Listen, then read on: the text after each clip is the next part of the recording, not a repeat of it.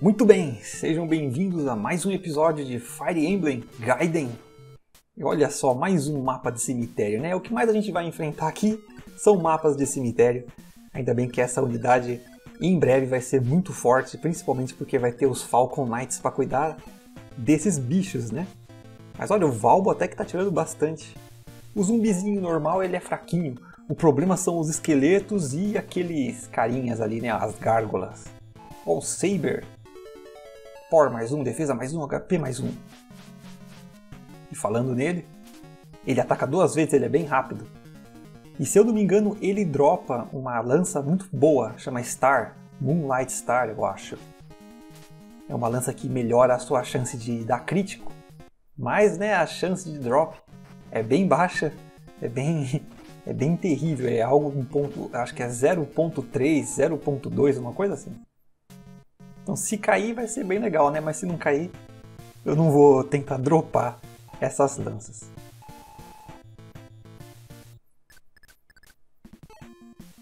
Vamos ver a Celica agora. Angel. Ou Angel. Angel, a gente fala sempre por causa do Final Fantasy, né? Bem legal. Vamos ver, a pala ela tem ali o Javelin, né? O equivalente ao Javelin. Aqui chama Hand. Então ela consegue atacar de longe. O Kamui com a espada sagrada fazendo o estrago. E o Valbo não fica para trás mesmo, né?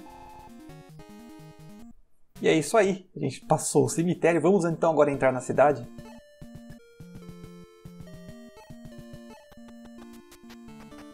Olha só. Os moradores, né? Contando um pouquinho de história. Aquele NPC ali embaixo, eu acho que ele é um dos entregadores, né? Você pode passar itens. É esse mesmo. Você pode passar itens de um lado para o outro usando ele. E olha, tem alguém lá em cima.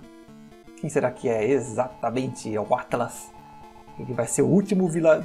membro do vilarejo que a gente recruta. Essas unidades são bem fortes, né? Que você consegue deixar ela subir até o 20 e aí depois trocar de classe. Subir até o 20 e trocar de classe de novo, então eles ficam bem overpower. E olha só esse cenário, é muito bem parecido com aquele do Alme, praticamente igual, com a diferença que esse Bly está equipado com uma Dark Sword, que melhora muito a chance de crítico dele, só que tem um problema.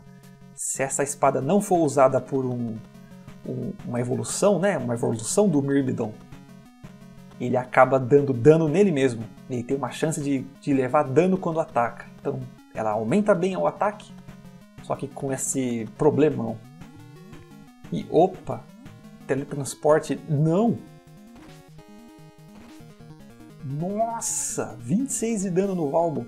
Esse é o teleporte. Vamos tirar essa bruxa urgente. Esquivou. Mais um level ganhando HP do Léo. Vamos ver o que a gente faz, hein? Fire. Esquivou. Esquivou de novo. É por causa do terreno. Apesar que magia, eu não tenho certeza, mas magia eu acho que ignora terreno. No Echoes ignora. Vamos ter que tomar muito cuidado aqui agora, hein? Como é que a gente vai fazer essa linha? Os mercenários estão dando duplo no Kamui. Quem é que tá ali do lado? É o Bowie. Esse tá morto se ficar aí. Acho melhor a gente recuar todos. Vamos voltar o Valbo, voltar ele. Avançar o Atlas, talvez. Sim. E olha só. O Bowie tirou 1 de dano. Quanto que ela tem de defesa? 14 de defesa mágica. Ela tem mais defesa mágica do que ele tem. de dano. Sorte que o Kamui já levou um mercenário.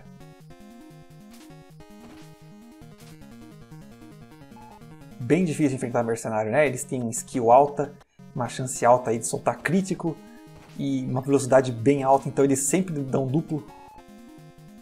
Sorte que a Jane conseguiu acertar o Nosferatu. Caramba!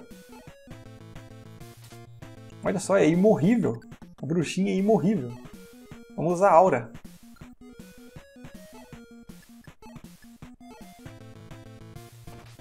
Uf. Finalmente, Mei salvou o dia. Agora é só fechar esses caras e se preparar para poder enfrentar o Bly.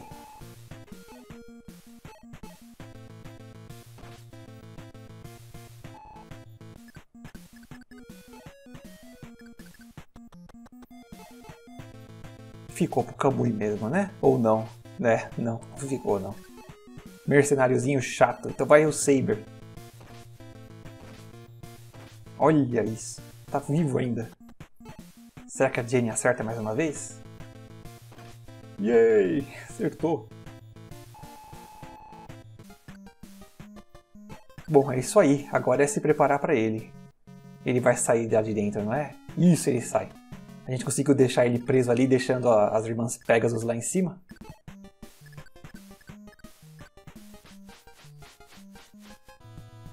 E olha só.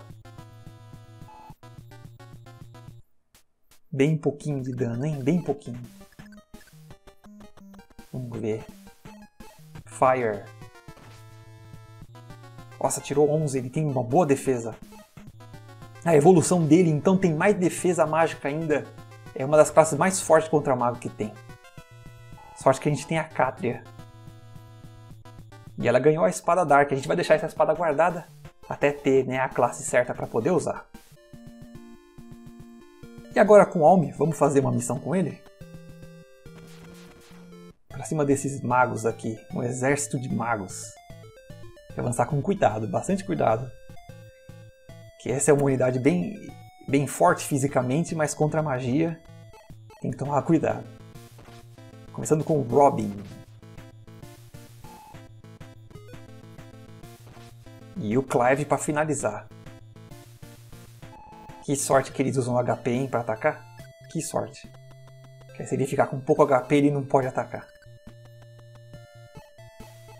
Cliff com o Dragon Shield, a coisa mais apelação que tem. Tirando que ele é cego, né? Ele não acerta ninguém. Mágica mais um, defesa mais um, HP mais um. Olha, atacou o Robin. Robin, que surpresa. Que surpresa ele ter ficado bom. Nossa. Olha só, 10 de dano. Eu acho que o Luca a gente vai ter que deixar ele lá atrás. Provavelmente só dá para avançar ele para dar um golpe em específico e olhe lá, né? Vamos ver o Almi em ação.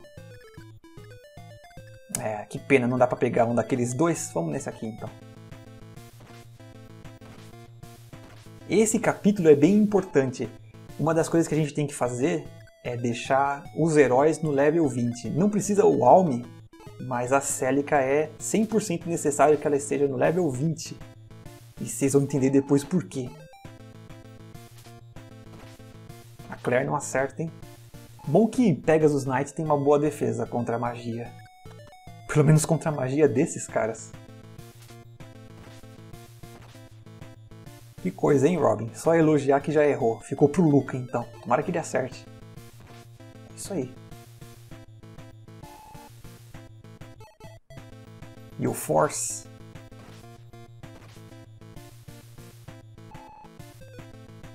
Grey para finalizar. Ótimo. 20? E ali a Sil, quem será que ela consegue acertar o Nosferatu? É, pra que tentar? Tem Endio. Olha lá.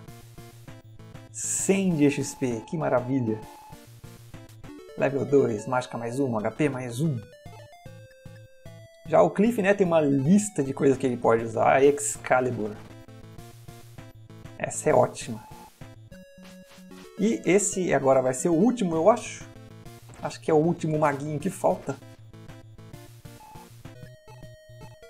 Fechar com a Silk também, porque ela tá pra upar. Olha lá. Mágica mais um, skill mais um, HP mais um e aprendeu Illusion.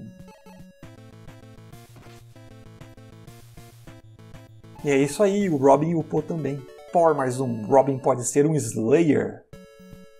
É exatamente essa classe, Slayer que pode usar a Dark Sword e olha o que aconteceu, a gente foi atacado. E uma coisa legal que vocês podem ver ali, o cursor do mouse está na tela. Que maravilha, hein? Profissionalismo 100%.